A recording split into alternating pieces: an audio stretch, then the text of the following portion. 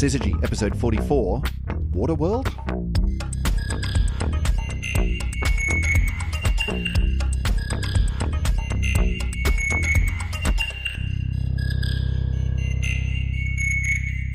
Welcome back for another edition of the Syzygy podcast. Emily sitting opposite me here at the table, Emily Brunsden, astronomer. Listen, there's been a lot of stuff in the news. Big, really exciting news this week. We found another Earth, apparently. Big watery planet with swimming pools and lakes and probably ducks and fish. And this is big stuff, Yeah, right? no, no, no. Hang on. Let's let's rewind this just a little Do bit I here. need to? Oh, did I come into that a little bit too hard? I think so, Because yeah. that's what everyone's been doing this week, right? It's it's been. Ah, look, have you been hiding under a rock? There's been reports in all the big papers, and like I've seen it everywhere, from sort of you know BBC through to the big newspapers here in the UK and in America and so on.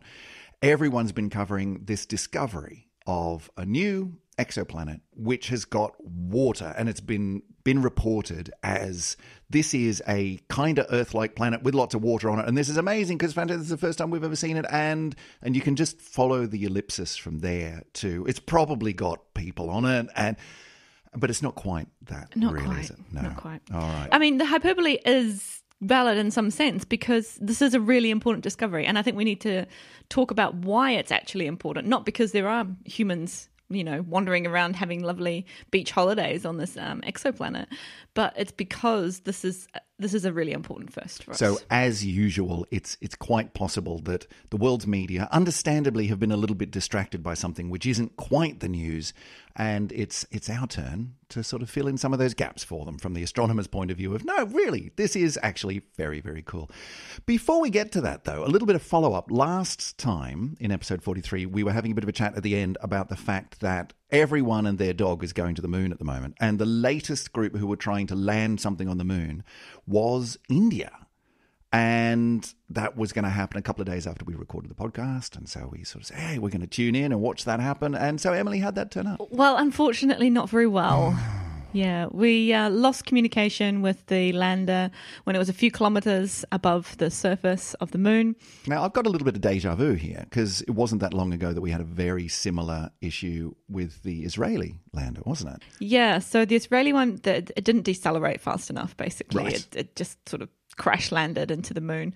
Um, probably the same thing ended up happening with uh, this other um, Indian lander, Chandrayaan 2. But we don't really know all the details, and actually, it's still not very clear exactly what went wrong yet. Hmm. The orbiter's still going, so that's. Right. that's great. And we've So actually the mission isn't completely dead, no, but the no. lander is. We can see the lander on the moon. we know we where just it is. Can't talk to it and say, "Hey, what what went wrong there?" That's very disappointing. But it just points out just how hard this is, right? Yeah, I mean, we can take it for granted so easily. You think the moon, oh, is pretty close. We're good at getting landers onto Mars and on, you know, doing things in the outer how solar hard system. can it be? You and I could do it. We could send something up. But no, it is super, super hard and a lot of chance in there as well. Yeah, I mean, getting to the moon is hard enough. Just getting off the planet, getting out of the atmosphere, takes an enormous amount of burny stuff. Um, and then getting to the moon is a very, very long way. But that's actually, in a way, the easy part. Stopping enough to be able to land on the thing, which just brings further back. We've talked about this a lot recently, and I know, I know, I know, 50th anniversary of landing on the moon, yada, yada. But it just points out how staggering it is that the first time we tried to do that with human beings 50 years ago, Apollo 11, it worked. Yeah. It could have gone so horribly wrong. We were so, so lucky. yeah, like this year alone, on an N of two, it's naught for two, right? Yeah. And that's not even with people on board. So, yeah, well done. Well done, everyone involved in the Apollo Apollo missions. Yeah, but this is definitely not the end for India's No. space program. I mean, they'll they'll be trawling through all those data that they've got from this mission, and they they'll be back. Yeah, yeah, yeah. yeah. Do we know who's next? Um, so well, I suppose Chandrayaan three will, I guess, will come along. but yeah, definitely. I mean, I mean, it's a huge achievement just to, to do what they've done. So I mean, it's it's not a failure. Yeah. It's just a minor setback. Yeah. So well done, everyone, for for getting as far as you did, and we look forward to seeing the next one, which absolutely convinced, really hope it's going to work.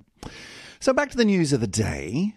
Big watery Earth-like planets that may be slightly overhyped. Emily, what's the story? Who's who's done what? What's been found? Well, okay, this is very interesting because there's actually two papers that came out at the pretty much exactly the same time. Because what's happened is Hubble did some observations of an exoplanet, and those data are public. So two groups kind of picked them up. Two you know groups expert at doing Okay. this kind of analysis. So Hubble, when when Hubble goes and observes stuff, it all just gets dumped online somewhere. Um, the, yeah, well, basically, yeah, basically in a big database. Right. Um, yeah, so But someone's deciding where it's pointing. So presumably it was pointing at, at somewhere in the sky for a reason. Yes, and uh, so these were very deliberate observations of this exoplanet. So the the science that we're going to be talking about comes from two papers. So the one is Benneke and al, um, which can, is submitted to the Astrophysical Journal, and that's available on arXiv. And the other one is um, we've got Tsiaras and al, which is gone through Nature Astronomy. So it's what's really cool, I guess, is that the bottom line of both of these papers, because I read both of them, is they get the same result. Right. So Which is always good. it's you really know. good. So Corroboration is always Yes. important. Yes. So, you know, the, the, the techniques work that we're doing. Right. But were they were they working completely independently? Did they know that each other was doing work on the same? they must thing? be reasonably, I'm not sure, and, it's not quite my field, but um, they do cite each other in the papers. So they obviously know of Sure. each other's work. Sure. Okay. Um, yeah. So, uh, what this is a, a planet that we knew about, exoplanet that we knew about. It's called K2-18b. Okay, another fabulous ast- astronomical name. Okay. But where does ha- it? does have some meaning.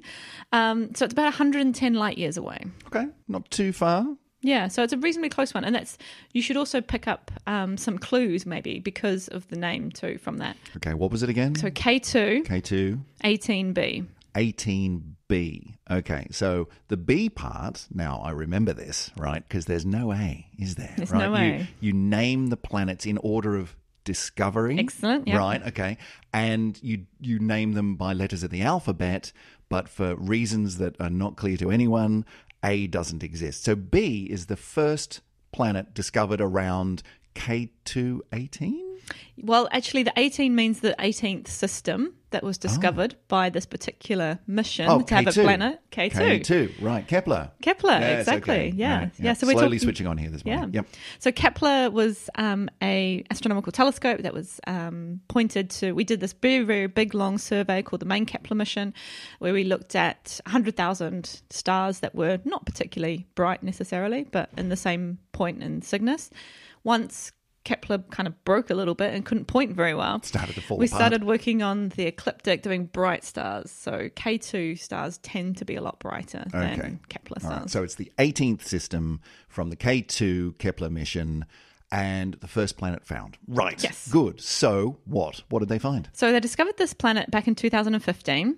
It's a super Earth. So what that means is that it's about twice the diameter and about eight times the mass of Earth. Now, this falls into that range that we don't see in our own solar system, do we? We've sort of got earthy sized things and we've got really big things, but there's kind of this gap Yeah, middle. Is yeah. that right? There is, and it's a wonderful gap because it's actually the most common type of exoplanet falls in this gap between Earth and Neptune. Which is a really weird coincidence, I guess, that we happen to not have them. And so, I mean, I'm, I'm right in remembering that when, when astronomers went first went looking for exoplanets, they went, well, we won't find any of that size. We're going to find loads of Earthy sized things and loads of Jupiter Jupiter sized things, but there won't be anything in between. And lo and behold, oh, look, there's all these super Earth, mini Neptune type things. Yeah, And yeah. this is one of them. exactly. Yeah. It is a coincidence that we don't have any. There's, there's no sort of There's no nefarious reason why we Real don't. reason it's just to do with the way that your planets get sort of distributed in the evolution of the solar system. Right. It's God having a joke.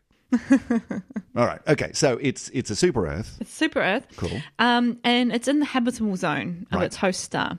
So that's really important. So that means that it's close enough and not too far away from the star. It's this Goldilocks idea. It's close enough to be warm, but not too far away to be too cold. Right. And not too close to be too warm. Exactly. Yep. So liquid water basically can exist inside the habitable zone is the is the loose definition. Right. And liquid water important because we think at the moment at least that that's if we're going to look at, at sort of you know the Goldilocks principle of of is it too cold is it too hot to support life type things then we look around us and we look at the things that we know about that are life type things and liquid water seems to be pretty paramount. So if we can at least aim for that then we're looking in the right kind of place, we think. And so this is one of those. This is a liquidy, yep. watery, Goldilocksy type planet. Yeah, Good. Fantastic. Well, that's great. So that's quite nice. Well done, all. Yeah, and it's you know it's kind of it's in a nice system. It's it's in a it's in a system that we can also observe a lot, which means that it's going around quite a cool star. The star's only Cool as in temperature, cool, Cool. not as in awesome. hasn't got some sunglasses on at the moment. Okay. Yeah, it's uh, so yeah, it's about three thousand five hundred degrees, which is so our star is about five thousand eight hundred. Okay, it's a bit cooler than ours. Yeah. Um, but what that means is that, is that the habitable zone of that star is a lot closer to that star because it's cooler, and therefore the planet goes around much, much faster. So the number of orbits, say, a year doesn't take as long as a year takes on Earth. In fact, a year takes um, 33 days. 33 days. So that is very quick. That's very quick. That's a month. Okay. Yeah. All right. So it's a lot closer to its its star, its sun, its cooler sun, but it's in the Goldilocks zone. It doesn't really matter how long the year is. Um, so fantastic. This is great. So we've got just to sum up, super Earth sized uh, in the habitable zone around a star which we can observe really, really easily, and it's got it's got water. How do, how do we know water. it's got how do how do we know? So this is a wonderful thing about this um, system is that we found it because the planet is transiting in front of its star. Okay, it's one of these transity times. Yeah. So what that means is the planet comes between us and the star and makes the light from that star drop just a tiny, tiny little bit. Right. And so when you look for that signature of bright star, bright star, bright star, oh, that just went a little bit less bright. And then you see that repeat, presumably every 33 days, then there's a planet going in front of that. That's how we spot it. Exactly. And that's how we tell things like how long the the year is on this particular planet. We tell the distance from the from the star, all these kinds of things. So, but if we want to know what that planet is made of, then we've got to make another set of observations. What sort of thing? So this is where Hubble comes in. What we want to do is we want to understand the chemical composition by a process called spectroscopy. Okay. So talk us through that one. What do we have to do? So instead of just looking at the brightness of the star and saying, okay, it's dropping, what we want to do with that light from the star now is to break it up into all the constituent parts of the spectrum. So it's like using a prism to create a rainbow. Right. You take I mean this is this is the, the, the principle of a of a rainbow that you see on a on a rainy day when the sun's pointing in the right direction, right? All the tiny little droplets of water will break the the white light that we see outside, the normal sunlight, and break it into its constituent colours, red, orange, yellow, green, blue, indigo apparently, because that's different from blue, and violet. And that shows that that light comes in all these different frequencies, all these different wavelengths. What we see is different colors. But when you've got light shining through a material like the, the atmosphere of a planet, interesting things happen with those different frequencies, don't they? Yeah, so I mean, a very basic analysis that we do very, very often as astronomers is to start with the light from the star and understand what chemicals a star is made of. Right, because the different chemicals will be spitting out their own particular fingerprint frequencies of light, won't they? Yeah. Yeah. So, for example, in the spectrum of a star, you pretty much always see really, really big hydrogen lines. Right, because there's a lot of hydrogen. There's a lot of discussed. hydrogen yeah, yeah. in these stars. Yeah, and you can see that as very bright, very particular colors in the spectrum. Yeah. Yeah. So now, then, if you take a planet, well, planets aren't bright. They, they don't shine from their own light like a star does. So we can't do the same technique directly with a planet. We can't just point a spectrograph at a planet and say, oh, look, that's what you're made of. But what we do is some very clever techniques using the light from the star that the planet is going around. And this particular technique is called transmission spectroscopy. Transmission meaning going through. Yep. Yeah. So what we do is we wait until we know that the planet is behind the star, mm-hmm. and we take a spectrum of the star, Okay, so the planet's not involved at all. We can't see it, not there, just star. just star, and we we take lots of measurements to see really what is the the spectrum of the star, and then we wait for the planet to be in transit. That means in between us and the star. So it's blocking the light, some of the light from the star. That doesn't matter. The chemical composition of the star is still the same. But some of that light is, if it's got an atmosphere, is passing through the atmosphere and coming towards us. That's the transmission part. The light's going through the atmosphere, and along the way, that light is interacting with whatever chemicals are in the atmosphere. Exactly. So the spectrum looks a tiny little bit different when the planet's in front of the star than when it's behind it. So I, am guessing that if you take away that first reference measurement of the star by itself from the one where the planet is in front when it is transiting in front of the star. Take the first one away from the second one, what you're left with is that's what the chemical signature of the atmosphere looks like. Exactly. Yeah. Wow. So it's yeah, just difference of between star plus planet and star alone. So how accurate is that? How how well can you see what's there? So it's pretty tough, actually, and Doesn't sound easy, to be it's honest. not easy at all. And what the real hindrance is is the best way that we can do spectroscopy currently um, is by is using instruments that are currently on the ground. Mm-hmm. So our best spectrographs, things like HARPS that find exoplanets using basically spectroscopic techniques. Are on the ground where you've got to look through the atmosphere of the Earth, and it gets really complicated trying to disentangle everything I that mean, our seeing. atmospheres, as we've talked about before, it's, it's hard. It's wobbly. It gets in the way. It's yeah, okay. But they use Hubble. They use Hubble. one. So Hubble has some really basic spectroscopic sort of tools that it can use. It's actually got something called the wide field camera, and it's got a grism on this wide field. A grism. a grism. and what's that? it sounds very silly. It's a lovely. It's a sounds lovely like word. something from a Dr. Seuss book. What is it? It's a grating prism. A grating prism. yeah. All right. So the idea is that you take the light and you take a picture. So you're seeing the image just straight off. But at the same time, you're also taking a spectrum of that image that you're seeing. So you got sort of part of the light that comes through makes your picture, and then part of it goes through the grating prism part and makes your spectrum. Right. Okay. But it's not like a super high resolution spectrum like the kind that I'm used to dealing with every day. And especially not because this is in the infrared part of the spectrum. Okay. So Hubble hasn't been designed from the ground up to be able to do this sort of thing to the to the absolute cutting edge that we could do it from down on the ground, but it does have the benefit of being not down on the ground. Exactly. In space. Exactly. So, you know, six of one, half a dozen of the other. Yep. Cool. So that's and that's exactly what we were using to look at it. Um, one of the groups also got some data from Spitzer, which is an infrared space telescope as well.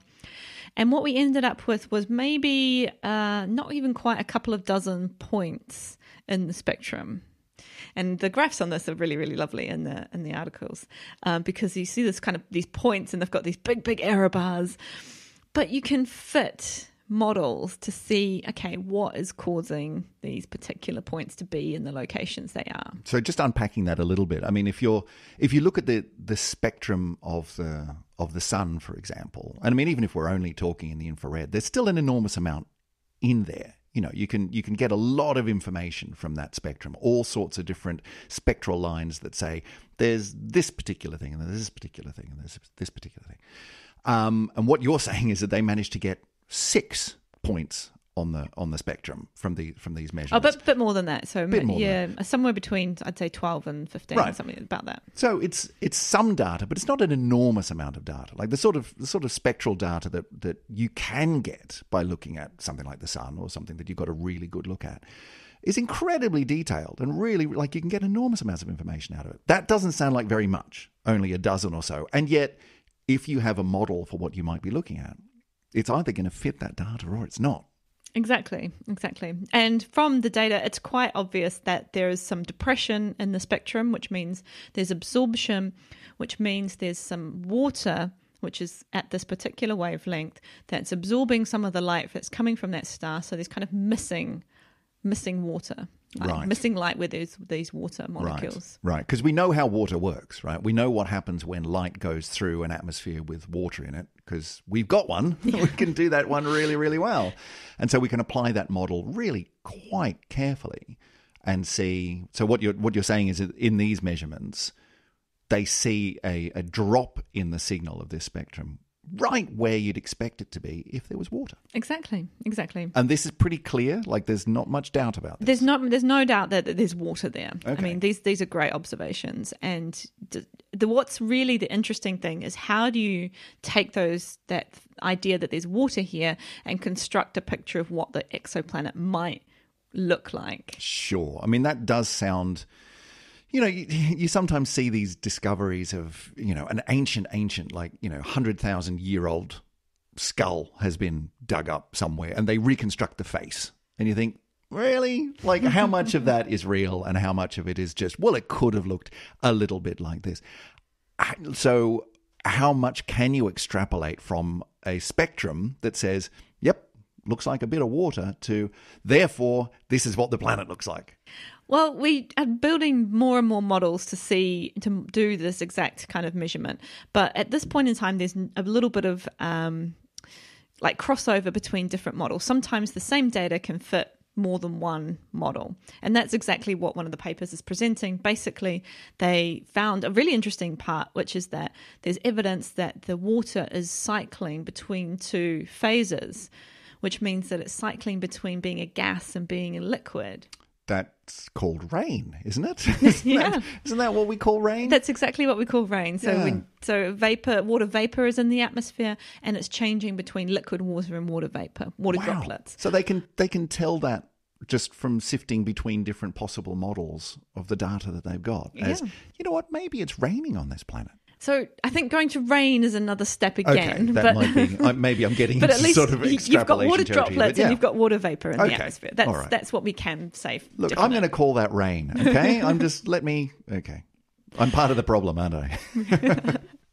cool. Okay, but that's interesting. Yeah. that's very interesting. And the models that would that fit these data the best are also very interesting. So there's three models that were tested, and there's no statistical way to say which is best. So when that happens in science, we just say, well, these are the three Sure. that we fit at this moment. Um, now. This is something that I learned. I went to a conference uh, last year, actually, and I thought, you know, I'm quite interested in astrobiology and uh, finding life in the universe. I'm just going to bob into the astrobio um, Sure. part of this conference and listen to some of the talks and see what's going on in the field. Because I was like, yeah, oh, you know, it must be easy. They just got spectra. Just, How hard how- can it be? Yeah, they must be Really? really close to finding these Yeah. these, these signatures of life. And I got into this um, Ah, the the session, and there were endless talks on different ways to model clouds. Wow. And at this point, I started to realize actually atmospheres are quite complicated. Mm. Yeah. and Yeah, it I mean, depends on how you model a cloud as to what's in your atmosphere. go ask any terrestrial atmospheric chemists. You know, it's, this is not easy stuff. So well done. Yeah, so And- it- I was totally blown away by just the complexity. And it is nice thing. to know that the pointy end of research is indeed very pointy. It doesn't matter which room you wander into at the conference. It really is heavy stuff. Yeah. Must have been pretty cool. But It was really, yeah, it was really yeah, interesting. Bit but- humbling, perhaps. Yeah, and part of me was just like, wow, those are a lot of people who are worried about a lot about clouds. Clouds on other planets. Curiously. Okay, so what are our what are Okay. our best three models? so they, well, some, unsurprisingly, some of them include clouds, some of them don't. right. So it depends whether your planet is cloudy or not. So there's three models. Two of them have clouds. One of them doesn't. Oh, sorry. Two of them don't have clouds. One of them has clouds. So model number one has no clouds.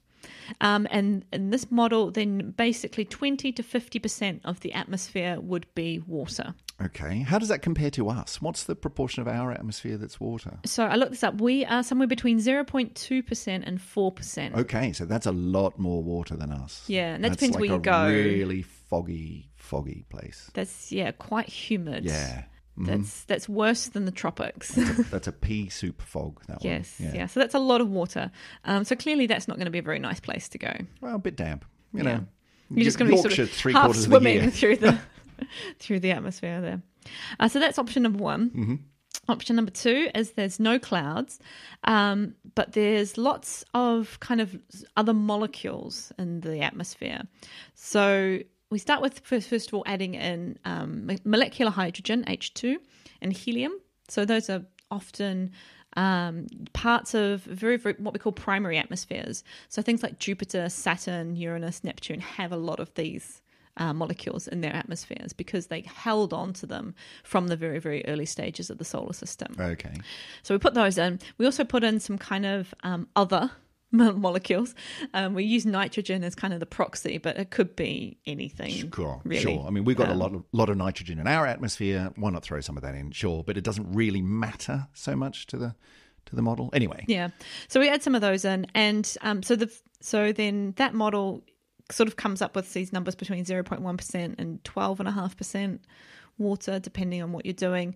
And the final model is the same thing again, except there's clouds as well. Right. So Okay. All right.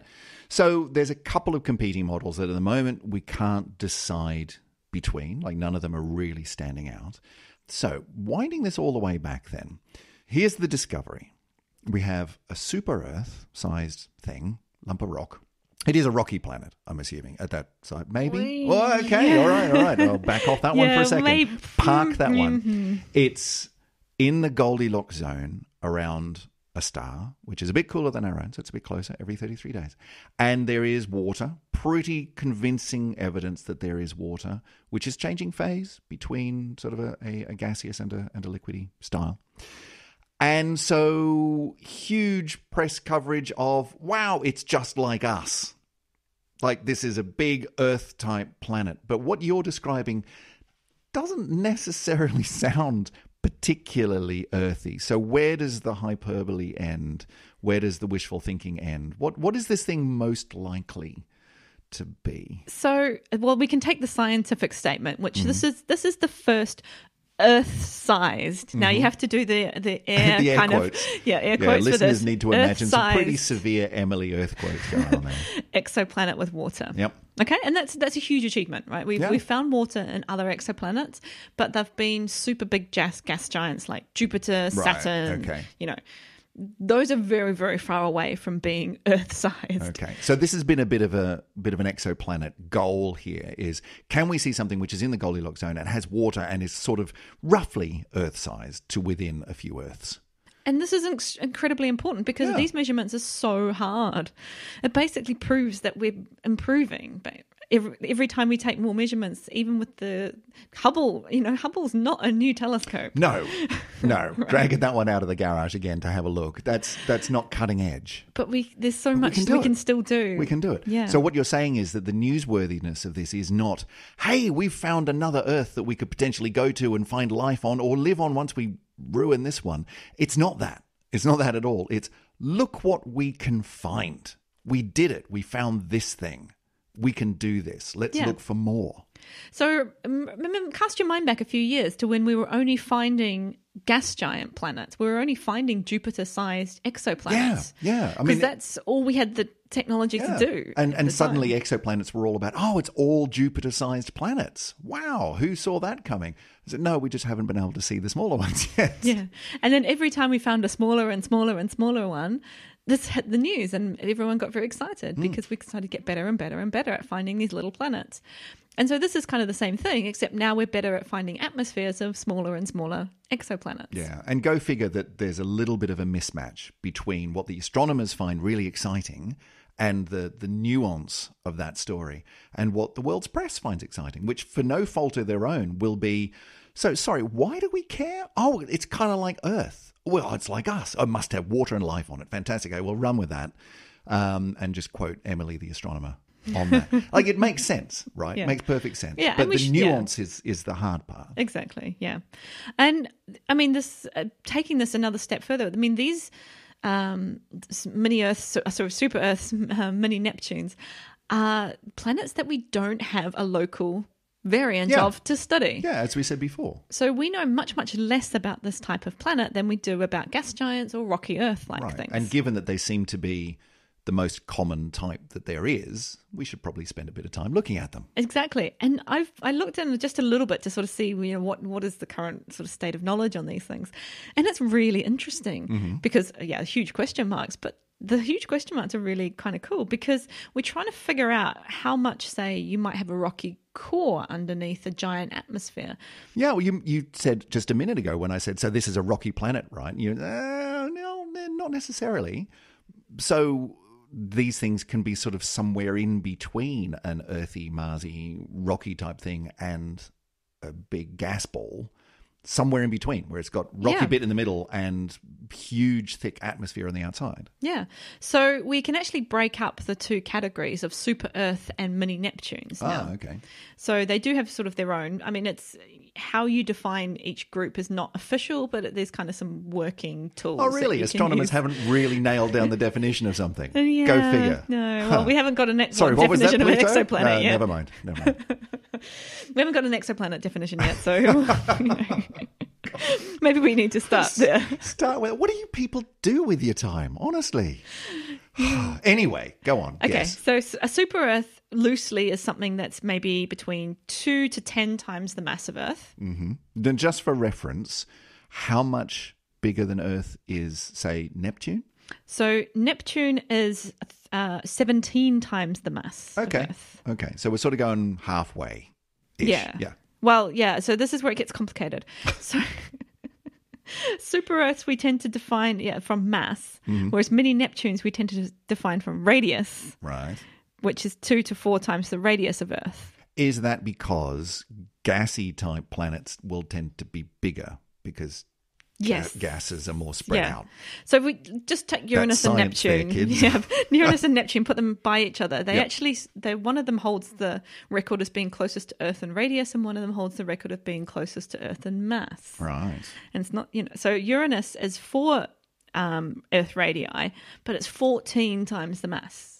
So much more dense. So it's yeah. so it's more dense. Whereas Neptune is sorry, Neptune is three point eight, so it's slightly smaller, but seventeen times the mass. So it's more dense Oh, okay. than Uranus. Right. Yeah. Yeah. Yeah. So the compositions are completely different. Yeah. And it turns out that density is actually one of the key things we can measure about exoplanets. How do you do that? It's again mass and radius. So density is mass divided by radius Sure. or volume. Yep. Um, and we can measure both of those things from a transit if we know good information about the star that it's going around. So it's fairly easy to say, yeah, we know the density of this exoplanet or average density. Sure. Okay. How much of that is a very, very dense core and a very, very light atmosphere I see what you mean. Yeah. versus just a kind of solidish thing all the way through is very, very tricky. But we do know that low, very, very low densities things in this kind of regime, they've got lots of hydrogen, helium. This is these primary atmospheres again. They're probably um, not very suitable to go and live on. Hmm. We don't really breathe hydrogen and helium. No, all that much. No, I mean it might make your voice a bit funny and might make you suddenly explode into flame. well, only if there's oxygen around, I guess. But yeah. it's not. You know, it's not atmosphere as we know it. No. No. And if you go super, super high density, you've probably got something really rocky, but with not really an atmosphere at all, which, you know, like Mars, for. Yeah. example, not super friendly to go live on. No, Mars is not the kind of place you want to take your kids, as Elton John once said. So what we're looking for is this kind of intermediate. Hmm. Again, the middle ground, the Goldilocks middle ground. Um, and you can have water, you can have an ocean planet, for example.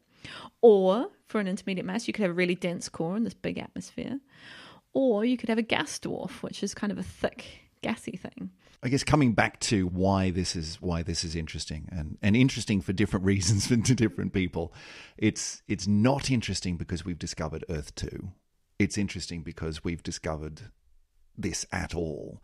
But it gives us the the hope and the ambition to then go, all right, let's look at more of these and let's see if we can start nailing down some of these possibilities. Because there's a lot of as you say there's a lot of big question marks about these these super earths um, you know mini neptunes. There's a lot of question marks. There's a lot, lot of models all competing and none of them are winning the race yet. Yeah, and it's probably true that all of these types of planets exist, right? So now, when you come to me um, after you've made your first exoplanet discovery and say, "Well, I've got this super Earth," I'll be like, "Yeah, cool, but what's it made of?" yeah which one is it? Um, can't i just have this? No you need to go and do some more work. Okay all right. Can i borrow hubble? Well, even better, and Mm-hmm. the, soon you're going to be able to use the JWST, the James Webb Space Telescope, soon? Very soon.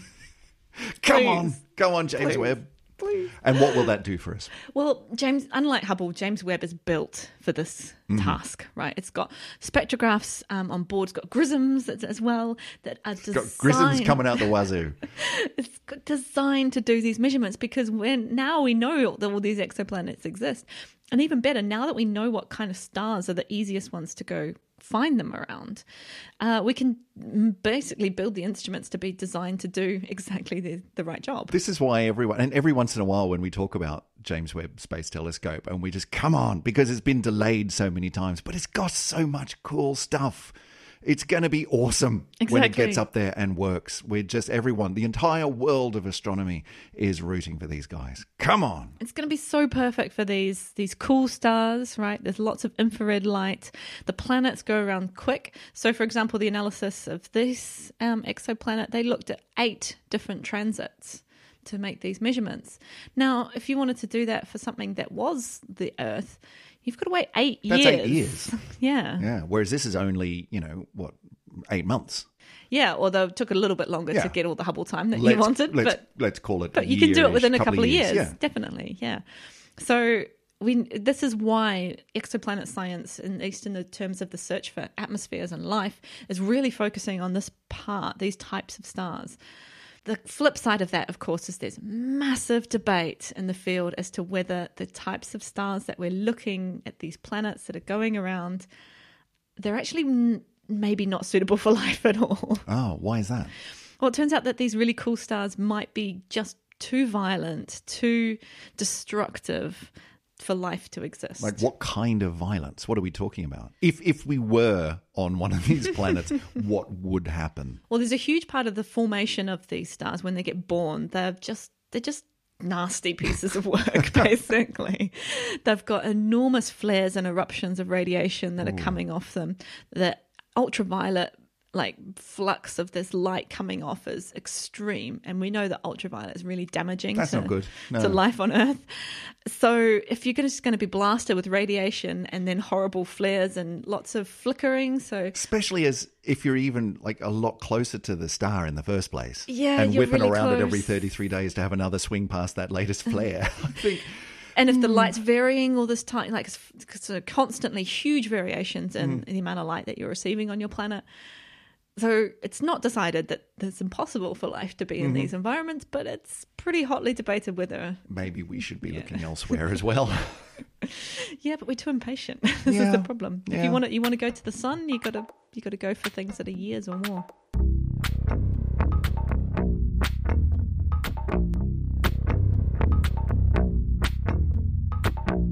That brings us to the end of another episode of the Syzygy podcast, but it doesn't bring us to the end of the search for, for possible venues for life in space. Emily, we've got so many places we could look at, just maybe not those really, really evil, cooler stars. That sounds awful. Maybe it's it's yeah, it's hard to say. Mm, it's to Okay. Well, we'll have to come back and revisit this one in the future.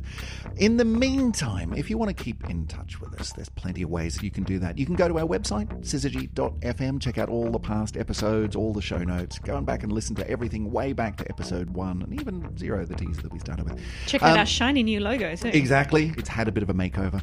Uh, and you can send us some comments through there. You can go and find the contact page and just send us a few notes. But that's not the only way. Emily, how else can people find us? We are on the Tweetiverse. We are. So if you like your news short, punchy, and very, very exciting, Yes. of course, every episode of Syzygy delivers that, but also Twitter does as well.